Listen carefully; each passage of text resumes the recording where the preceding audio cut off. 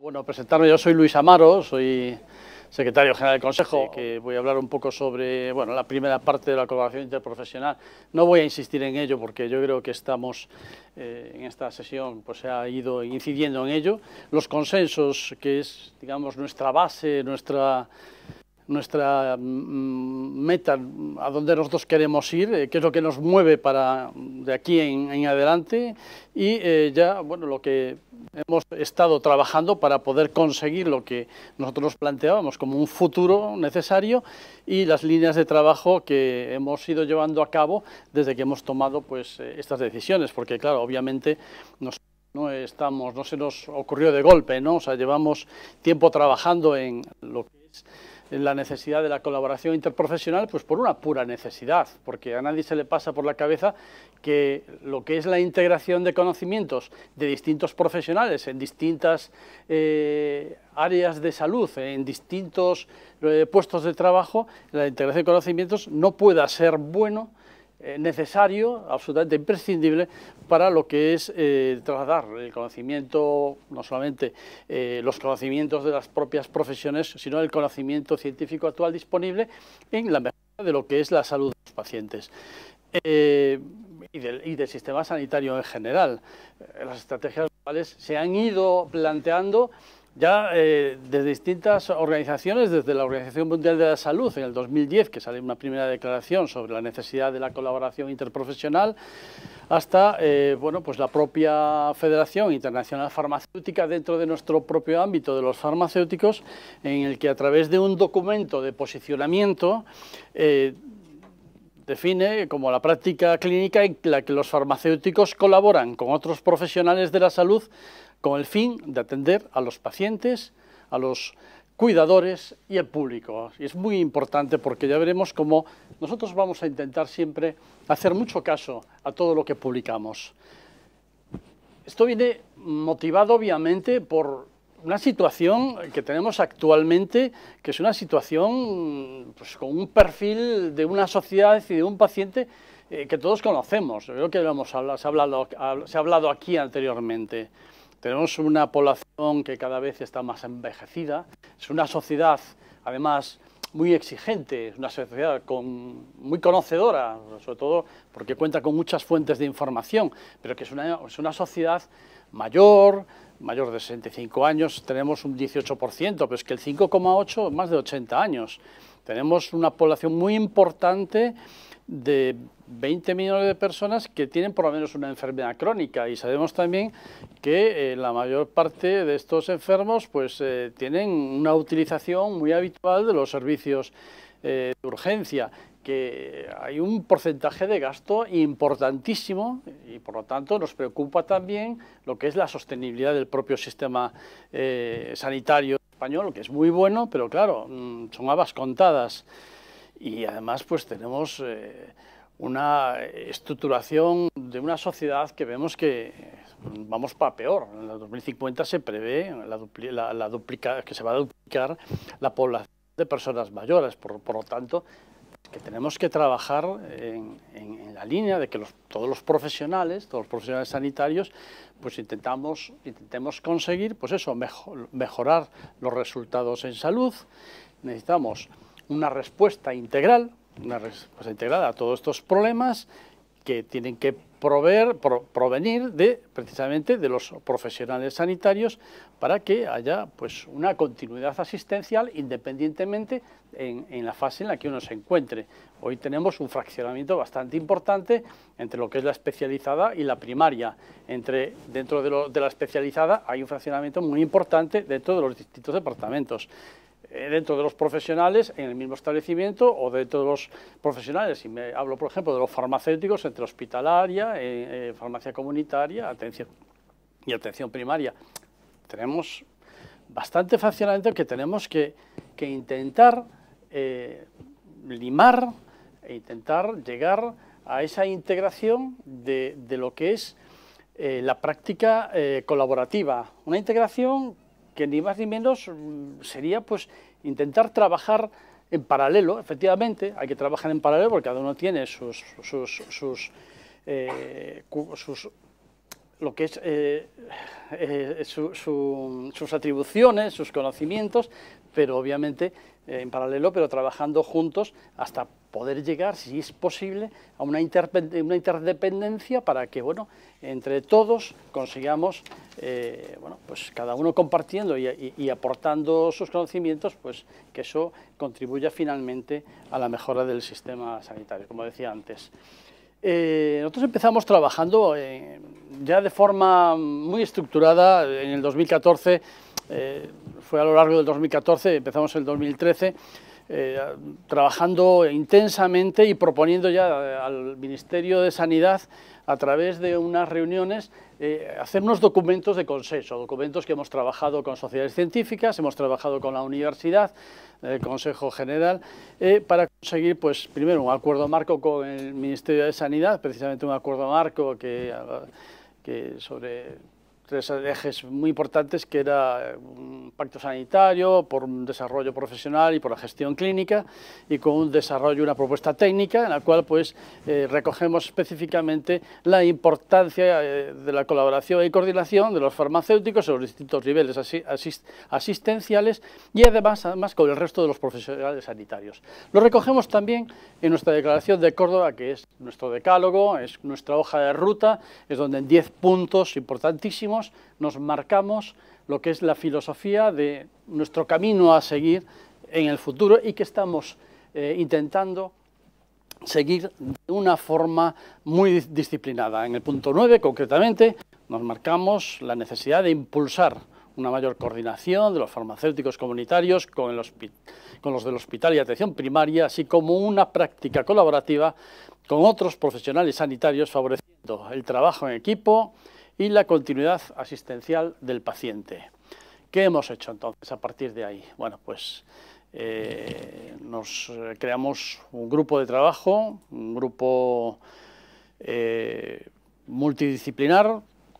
en dos pequeños grupos. Un primero donde hemos reunido a farmacéuticos comunitarios de atención primaria y enfermeras de atención primaria y un segundo grupo, bueno, médicos de atención primaria, un segundo grupo con farmacéuticos comunitarios y farmacéuticos de hospital, intentando responder a una serie de preguntas. El por qué, primero una motivación, a ver, realmente hay una oportunidad, se ve, por qué es necesaria la cooperación. Un segundo punto es intentar identificar las barreras que hay para vencer vencerlas y, conseguir pues, eh, superarlas para intentar poder seguir trabajando, poder trabajar eh, en colaboración con, el resto de los profesionales. ¿Y qué hay que hacer? ¿Qué ideas, qué propuestas se hacen para que todo esto pues, sea una realidad? Eh, buscar básicamente modelos de cooperación. Y han salido pues, una serie de conclusiones eh, del primer grupo, pues eh, se han agrupado en, en, cuatro apartados, han salido diez factores, eh, en los cuales pues, en el grupo de médicos, enfermeros y farmacéuticos, pues básicamente resumidos en la necesidad de generar confianza,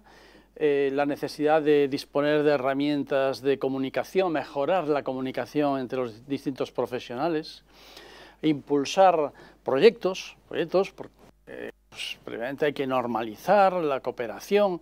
hay que crear foros interdisciplinares, hay que evaluarlos, los proyectos que se pongan en marcha y, por supuesto, disponer de esas necesarias herramientas de comunicación para conseguir pues, la interoperabilidad de los sistemas, que ya veis que es complicadísimo porque hay mismo un proyecto como Red Electrónica que no es interoperable y que años después de estar funcionando se está ahora pues, consiguiendo comunidad a comunidad que los sistemas eh, se entiendan entre ellos. Bueno, pues esto es, sigue siendo complicadísimo, sí que tenemos ya herramientas, ya lo vamos a ver, estamos diseñando herramientas que nos permitan poner en común eh, datos, información y flujo de, información, sobre todo, eh, que sea pues, rápido, que sea fluida y, sobre todo, lo más importante también es que sea segura, porque aquí estamos hablando de datos eh, de pacientes, datos de mayor nivel de protección y aquí estamos sometidos a la Agencia de Protección de Datos en este sentido y tenemos que dotarlos de una máxima eh, precaución a la hora de manejarlos. En el segundo grupo, en el cual pues, estaban trabajando pues,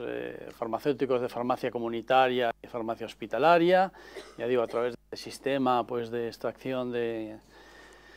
de opinión y de resultados, también se identificaron pues, 10 factores repartidos en, agrupados en tres grandes conceptos, la integración, la normalización y el desarrollo de proyectos. Coinciden muchos de ellos y tanto coinciden, tanto es así que efectivamente eh, nosotros estamos reivindicando permanentemente lo que es la integración, en este caso pues hablo de la farmacia comunitaria en los sistemas de salud. Estamos integrados en parte, digamos. Eh, la farmacia comunitaria sí que forma parte del sistema de salud, pero la farmacia comunitaria es un establecimiento sanitario privado. Y por otro lado, pues se encuentran lo que son las estructuras del Sistema Nacional de Salud, que es sistema público. Las farmacias comunitarias, a través de los conciertos de prestaciones, efectivamente se trabaja eh, de una forma integrada, pero no de la forma de integración que nosotros queremos. Y es que pensamos que como mejor pueden aportar a la, sanidad es integrarlos no solamente a través de la prestación farmacéutica, sino a través de todos los sistemas, por ejemplo, de desarrollo de planes de, crónicos, planes de cronicidad que cada una de las comunidades autónomas eh, desarrollan eh, en cada uno de sus ámbitos y en los cuales pues es bastante difícil, digo bastante difícil que consideren a la farmacia comunitaria porque normalmente se desarrolla siempre en, en entornos del sistema público a través del personal y de las estructuras eh, públicas. Bueno, es necesario una mayor integración, eh, que se cuente con la farmacia comunitaria, que se, que se impulsen acciones en las cuales haya que trabajar conjuntamente, hay que normalizar, hay que normalizar porque hay que fomentar eh, lo que es eh, fomentar y potenciar eh, la, formación conjunta. Antes hablamos de la formación conjunta. Es un tema muy complejo, muy interesante, pero muy complejo lo que es establecer planes de formación conjunta de distintos profesionales. Es deseable y desde luego es muy interesante. Y luego, pues, los proyectos que hay que definir un catálogo de servicios que estén ligados al paciente, intentar que haya mm, productos y servicios que estén, sobre todo servicios profesionales, en los cuales haya una relación, una interacción entre farmacia hospitalaria y farmacia comunitaria, eh, buscar fórmulas de, colaboración activas eh, a base de, de gestión, etc. Hay, fórmulas. Bueno, en síntesis y sintetizando ya, eh, se perfilaron cuatro líneas de trabajo. Cuatro líneas de trabajo para poder llevar a cabo, digamos, una implantación de una práctica colaborativa entre profesionales sanitarios. Por un lado, tenemos pues eso, lo que comentábamos, y que son puntos en común, el, impulso de proyectos eh, colaborativos, el desarrollo de sistemas de información seguros y ágiles, los dos grupos lo vieron absolutamente fundamental, el poder registrar y compartir información. No tenemos demasiada costumbre de registrar datos, sobre todo en la farmacia comunitaria, sí, más en el entorno del hospitalario. Normalizar el desarrollo de las prácticas colaborativas mediante procedimientos y protocolos compartidos. Y por último, muy importante, el promover, como decía, la formación conjunta entre profesionales sanitarios y facilitar, sobre todo, pues, estas herramientas para mejorar las habilidades de comunicación, sociales, etc. Bien, cuatro aspectos que nos han mm, servido para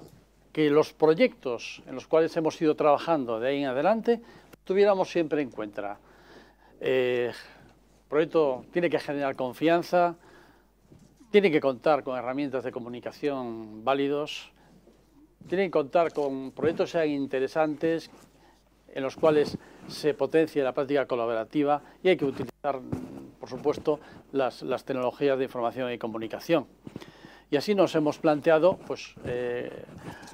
las unas líneas de trabajo, en principio estas tres, nos falta la otra de formación, formación conjunta, la primera parte que es la del desarrollo de proyectos de colaboración, la elaboración de los sistemas de información y la normalización, aunque hay fases en cada uno de ellos que también son de formación conjunta. El resultado, pues empezamos trabajando primero con una gran área bajo el paraguas de lo que le llamamos AZFARMA, proyectos que son impulsados eh, por el Consejo General, son proyectos que sustituye lo que antes le llamábamos el Plan Nacional de Atención Farmacéutica y ahora pues eh, hemos querido pues, definirlo como eh, son las claves de desarrollo de servicios profesionales en la farmacia comunitaria, en la cual pues intentamos hacer acciones que sean muy prácticas, con tiempos limitados y en los cuales pues escogiendo una serie de patologías especialmente relevantes, pues intentamos eh, dar formación y al mismo tiempo eh, habituar en la utilización de herramientas, tanto de comunicación como herramientas pues, eh, de, consulta, de base de datos, etcétera, para que, bueno, intentar, pues primero, comprometernos con la sociedad, con el paciente, protocolizar los servicios, estamos hablando de que ya tenemos un requisito, proporcionar asistencia sanitaria de calidad, porque son todos sistemas que cuentan con unos protocolos muy definidos, promover la práctica colaborativa y valorar el trabajo del farmacéutico por eh, obtener resultados en salud. Eh, queremos llegar a todos, los profesionales, a todos los profesionales sanitarios, pero también, sobre todo, a la administración y a la sociedad para que también eh, pueda ver lo que es la aportación del farmacéutico en eh, la salud, en, este, en, el sistema sanitario. Iniciamos con tres, el primero fue Aspira, que estaba orientado al paciente asmático en la primera dispensación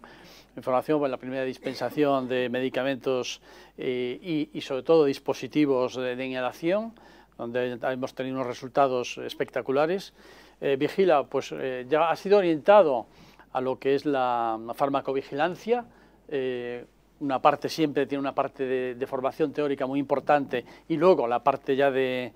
de puesta en práctica, aprender a detectar reacciones, a, cómo comunicarlas eh, a informar. Y un, y un tercer eh, proyecto que está ahora mismo, acaba de empezar, que es en mente y que es muy interesante porque aquí trabajamos eh, de cara a los enfermos de Alzheimer,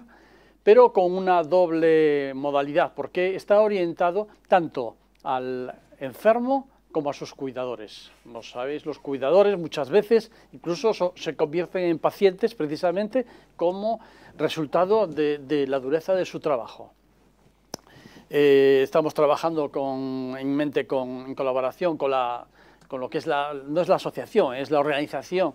eh, que, bueno, que agrupa, por así decirlo, a los cuidadores sociales y eh, tenemos pues eh, un grupo, un número de inscritos muy importante, veremos los resultados. En todos ellos se hace lo que es la primera parte de la formación, después se hace la práctica y por supuesto después hay una valoración en términos tanto económicos como en términos de salud, que es lo que más nos interesa sobre la aportación. Otro proyecto colaborativo es la Alianza Más Nutridos. La Alianza Más Nutridos ha nacido colaborativo, ha nacido colaborativo porque ha, surgido precisamente de la colaboración, ha surgido del trabajo de médicos, de farmacéuticos y de enfermeros, donde trabajando conjuntamente eh, para precisamente luchar contra un problema que es mucho más importante y desconocido de lo que se cree, que es la desnutrición relacionada con la enfermedad pero de pacientes que están en el Sistema Nacional de Salud, ingresados o no ingresados, pero sobre todo ingresados. Se, está abordando desde un, un aspecto multidisciplinar, estamos eh, haciendo pues, en cada uno de los sectores cribados para medir muy bien, a ver cuál es el grado, qué es lo que nos estamos encontrando, que ya eh, comento que hay, hay mucha información ya colgada en la página de Alianza Más Nutridos, dentro del portal Farma se puede acceder, y eh, estamos desarrollando ya un cribado a ver si podemos ponerlo en marcha desde la oficina de farmacia a partir del tercer trimestre, cuarto trimestre, mejor dicho, del año 2017. Un proyecto muy interesante que se consigue de seguimiento farmacoterapéutico también nace con esa misma vocación. Es un proyecto que ya no es proyecto porque llevamos tres años con él. Ha nacido, como todos, con un aval científico muy importante. En este caso consigue, cuenta con el, asesoramiento, o sea, está promovido por el Consejo General, pero estamos trabajando conjuntamente con el eh, Grupo de Atención Farmacéutica de la Universidad de Granada, eh, o sea, por lo tanto, cuenta con todo lo que es la lo que son los procedimientos, la protocolización, el tratamiento estadístico, etcétera. Eh, el soporte nos lo está dando la Universidad de Granada y nosotros, pues, estamos trabajando, pues, ahora mismo en 12 provincias. Eh, se van a sumar cinco provincias más en el mes de en el mes de septiembre, creo que es, creo recordar. Eh, porque es un estudio que se va haciendo en fases. Eh, hubo una primera fase con un pilotaje, después una fase de, impacto para ver su eh, aportación a niveles económicos y, de, impacto de salud, después una fase de implantación y ahora estamos en la fase extensión. son un grupo de farmacéuticos, muy importante que están trabajando haciendo pues, seguimiento farmacoterapéutico de forma absolutamente protocolizada. Eh, cuentan con soporte, un soporte profesional a través de, un... O sea, los colegios han, aportado un personaje que ha surgido que llaman los focos, los formadores colegiales, que son farmacéuticos que están eh, dándole soporte al, al, farmacéutico para ir guiando, ir eh, pues motivando para la captación de pacientes y para eh, hacer una correcta actuación eh, profesional como tal servicio, que es un servicio perfectamente estructurado y definido de atención farmacéutica y en el cual pues, se han obtenido unos datos espectaculares, unos datos en los cuales pues, se producen tanto reducciones de problemas de salud, un 54%, no sé si se, ve bien,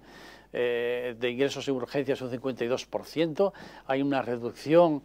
eh, a ver si lo leo aquí porque no lo leo nada bien, eh, en servicio de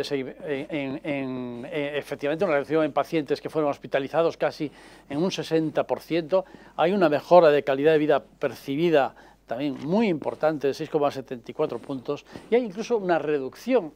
en el número de medicamentos utilizados. Quiere decir que se han detectado medicamentos que estaban prescritos, que estaban siendo utilizados por pacientes que no necesitaban. Todo esto se ha traducido ya no solamente en lo que es la mejora del estado de salud, sino también en la mejora en la calidad de vida percibida por el paciente, sino también esto, por supuesto, eh, repercute en un ahorro, un ahorro que se ha estimado en 2.772 millones, 2.272 millones, si esto se, si, se generalizara en todas las farmacias y se eh, pudiera poner en marcha de una forma muy efectiva. Obviamente es un servicio muy complejo que nosotros lo que, lo que estamos también transmitiendo es que es un servicio que para que sea sostenible debe ser pagado, porque si no es imposible prácticamente con los propios medios hacerlo. Entonces, pues está trabajando también con las comunidades autónomas para, eh, bueno, a ver, eh, de incluirlo dentro de los conciertos de prestaciones. Eh, hay cálculos, obviamente, y lo que es la inversión necesaria por parte de la administración sanitaria de la autonomía, pues sería una inversión que provocaría una serie de ahorros que compensaría mm, absolutamente y con creces lo que es el, coste del propio servicio. Eh, en ello, mm, uno de los puntos que hemos eh, tratado ha sido precisamente de la, práctica colaborativa. Sí que se ha, eh, dentro de, las cifras, dentro de los datos que hemos obtenido, es que se, se percibía eh, de una forma este, estadísticamente significativa, una mejora muy sustancial en la práctica colaborativa que se establecía entre el farmacéutico y el médico cuando el farmacéutico tenía que intervenir ante la detección de un problema relacionado con el medicamento, cualquiera de ellos que pudiera ser, o ante una reacción adversa que motivase una necesidad de comunicación con el médico prescriptor para intentar llegar a corregir esta situación. Obviamente, eh, bueno, el nivel de colaboración sabemos que es muy variable, ¿no? Eh, hay trabajos en los cuales pues, hay una serie de escalas y se ha afinado, por así decirlo, la escala para adaptarla también a lo que se ha obtenido en el resultado que consigue y bueno, pues se ha visto pues que se pueden agrupar en cuatro grados de colaboración, desde el nivel cero a una colaboración absolutamente, prácticamente mínima o casi ninguna, donde se reduce pues casi a, las llamadas telefónicas para, bueno, o consulta o lo que sea, hasta un nivel máximo que sería lo que eh, supondría la interdependencia profesional, que digamos sería el máximo grado de colaboración profesional. Obviamente, eh, al final del estudio pues nos hemos encontrado eh, bueno, pues, farmacias, farmacéuticos que se encontraban en distintos niveles de cada una de estas escalas. Ha sido muy interesante y muy, y muy, muy, muy positivo. En septiembre, con la misma vocación, empezamos a trabajar con un programa específico de adherencias, llamamos adherencia MEZ. Esto lo vamos a desarrollar a lo largo de 12 meses, eh, pero tanto consigue, o sea, seguimiento farmacoterapéutico como adherencia, eh, no son proyectos eh, temporales, estos nacen para quedarse. Son proyectos en los cuales nosotros los implantamos, damos la formación y nuestro objetivo es que poco a poco y como una mancha de aceite se vaya extendiendo y se afiance. Adherencia igual, son igual que consigue, lo hacemos también con una base eh, científica mm, eh, desarrollada por la Universidad de Granada, eh, son un estudio en el cual, pues, en principio, en algunos casos va a haber más, 15 eh, farmacias por provincia, pero ahí ya tenemos provincias que van a, haber más farmacéuticos. Eh, hay una serie de colegios que están ahí, que los colegios implicados, el de Albacete, Ciudad Real, Coruña, Guadalajara, Guipúzcoa, Soria y Tenerife, y el objetivo pues, del estudio no es ni más ni menos que mejorar la adherencia. Obviamente la adherencia por sí sola no se mejora, ¿no? hay que hacer un procedimiento porque es un, un tema grave, es un tema complicado. Como sabemos, la falta de adherencia es uno de los problemas más importantes que nos encontramos precisamente en la utilización de medicamentos. Es un problema, un PRM muy característico y que hace que pierda totalmente la eficacia los tratamientos, genera problemas de ingresos hospitalarios, genera pues una serie de complicaciones en los cuales pues yo creo que todos, todas las sociedades y eh, tanto sociedades científicas, nosotros, esta farmaindustria, pues cada uno por su, lado, pero trabajando en proyectos de adherencia. Este proyecto mm, que traigo es, eh, el, último que hemos terminado con una fase eh, de pilotaje, que es el de Concilia. Concilia es conciliación de medicamentos al alta hospitalaria. Pacientes que se encuentran con su medicación, que ingresan en los hospitales, se le puede poner nueva medicación, se le puede cambiar, reciben el alta y, tiene que haber una conciliación, obviamente, entre la medicación que traigan, la medicación que reciben en, su estancia hospitalaria y cuando vuelven a la calle que puede haber otra nueva modificación de la medicación. En este caso nos interesaba muchísimo establecer un sistema de comunicación que permita eh, desde el hospital, a través de los servicios de farmacia hospitalaria, con los servicios de farmacia atención primaria y con eh, las oficinas de farmacia, establecer unos canales de comunicación de forma que aquellos pacientes que se detectaran, se determinaran, pues recibieran una conciliación. Podía ser que los pacientes estuvieran conciliados o no, entonces, bueno, pues mediante una serie de herramientas que se han diseñado expresamente para este proyecto, eh, se han hecho eh, herramientas tanto de comunicación para permitir el flujo de información entre los distintos niveles asistenciales, como eh, elementos electrónicos de recogida de datos para su procesamiento a nivel centralizado y bueno, después poder intentar, como en todo lo que hemos venido hablando, procesar esos datos, obtener información y sacar conclusiones. ha sido muy interesante en este pilotaje realmente lo que hemos querido era probar probar herramientas, se han diseñado, como decía, herramientas que queríamos probar, las hemos probado y ahora vamos a, pasar ya a la siguiente fase. Y la siguiente fase es, vamos a ver, vamos a empezar a, introducir la conciliación eh, poco a poco, como estamos haciendo con seguimiento farmacoterapéutico, en este caso fueron tres hospitales, tres provincias, es un tema muy complicado, muy complejo, pero que es, eh, tiene unos resultados eh, muy, muy, sorprendentes. Y sobre todo, aquí desde luego se trabaja de forma colaborativa, sí o sí. Ya entrando en otra fase de lo que hablábamos, hablábamos de las, comunicaciones, la, la necesidad del flujo de, información y el mantener los sistemas comunicados. Necesitábamos algo que diera soporte a todo lo que nosotros estamos haciendo, a todo lo que nosotros necesitamos de aquí en el futuro. Y estoy hablando de todos los proyectos que tengan una base tecnológica. Proyectos que son, desde el punto de vista tanto profesionales como proyectos eh, pues, eh, de, sistemas eh, de lo que nos estamos encontrando, que tenemos que estar, que estamos trabajando ahora en el sistema de verificación de medicamentos. Y entonces diseñamos Nodo Pharma. Nodo Pharma, que no es ni más ni menos que un sistema, es un sistema de información que lo que hace es, primero, dar soporte, da soporte a todos los servicios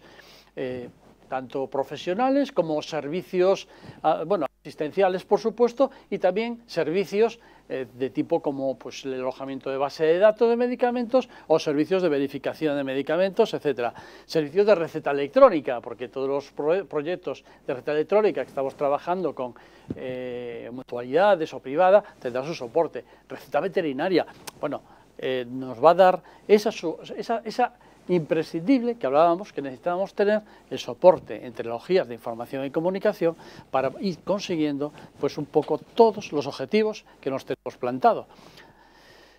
Tenemos que eh, dar fuerza a esa red colegial, a esa red colegial que es lo que hace, que impulsa cada uno de los proyectos a nivel individual pero que podemos contar con la fuerza del conjunto de todas las actuaciones si trabajamos como si fuéramos una red. Y así, bueno, pues hemos ido desarrollando desde que empezamos a trabajar, que empezamos en el 2016 y ya tenemos todo esto montado en Nodo Pharma. Ahora mismo pues estamos, ya sabéis que con el sistema de verificación de medicamentos que tenemos eh, que empezar con con, con, ello no empezar, que tenemos que, que, tenerlo en funcionamiento el 9 de febrero del 2019 y ya también estamos muy avanzados, pero tenemos la red veterinaria, tenemos eh, el Concilia, lo que hablaba, la adherencia MED, que también estamos ahí en la fase de desarrollo, cada uno en un nivel diferente, pero bueno, poco a poco vamos a ir colgando. Y ya eh, hablando de lo que es, eh, para ir terminando, lo que es la necesidad de la normalización,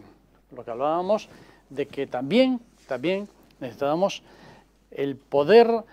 eh, hablar un lenguaje común. Eh, para eso está foro. ¿Foro qué es? Porque foro es realmente, foro es eso, es un, una, no es un organismo, no es una institución, es un foro de debate en el cual eh, sociedades científicas como la CEFAC, como Pharmaceutical Care, como la universidad, la, eh, el departamento de, la Universidad de, que se llama Farmacia, no me sale el nombre de atención farmacéutica de la Universidad de Barcelona el grupo, y el grupo de investigación de la Universidad de Granada, que está nada algo que Farmacéutica que, que también está en foro, y el propio Consejo General, donde bueno, pues tenemos ahí eh, una función muy importante en cuanto a lo que es la normalización, en lo que es la eh, la, elaboración de, bueno, la, propuesta de, elaborar protocolos en común, procedimientos, eh, terminología consensuada, por supuesto, que podamos hablar todos, cada uno de los eh, proyectos que estemos desarrollando, bien conjuntamente o bien de forma individual, pero que estemos hablando siempre más o menos de las mismas cosas para que podamos compararnos, para que podamos medirnos, para que podamos eh, demostrar a la sociedad en, cifras, en datos, pues qué es lo que estamos haciendo. Por supuesto que tiene una función muy importante cuanto a difusión de todo lo relacionado con la atención farmacéutica y de hecho todos los años eh, que ahora mismo está abierto el plazo de inscripción, un premio de atención farmacéutica en cada uno de los servicios que están, eh, que están aprobados por foro. Eh, incrementa muchísimo también lo que es la colaboración, colaboración entre todas las organizaciones que estamos formando parte de foro y desde luego es ahora mismo de referencia en atención farmacéutica. El Consejo, aparte, estamos, somos uno más, ni más ni menos. Nosotros intentamos ayudar en la coordinación, pero es un trabajo fruto de todos los que estamos ahí sentados. Ya como conclusión, y desde luego eh, un poco lo que veníamos diciendo, hay que impulsar la participación de los farmacéuticos en, las reuniones, en los foros de la área de salud, pero lo que es el objetivo desde luego es, integrar la intervención